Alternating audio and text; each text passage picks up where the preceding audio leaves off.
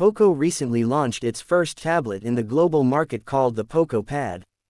This mid-range tablet is marketed as a multimedia and productivity-focused device as it comes with a high-resolution display in the 16:10 aspect ratio.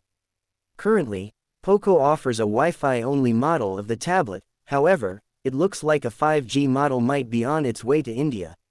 The Poco Pad 5G has been spotted on the Indian Standards Certification website. This seems to be the Poco Pad 5G connectivity variant, as its model number closely resembles that of the Redmi Pad Pro 5G.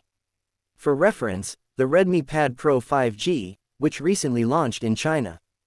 Other than the added 5G connectivity, we expect the remaining specifications to be the same as the Wi-Fi only Poco Pad.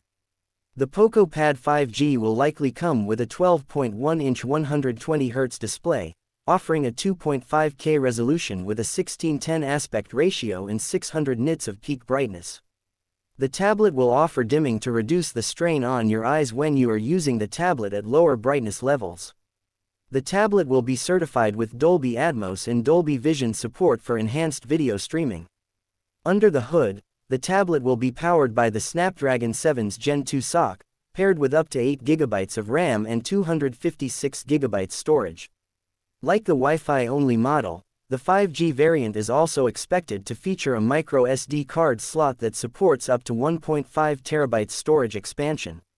For optics, we can expect an 8 megapixel sensor on both the front and back sides of the tablet. The battery onboard is expected to be of 10,000 mAh capacity paired with 33 watt fast charging. And last but not least, it will likely come with an Android 14 based HyperOS operating system out of the box.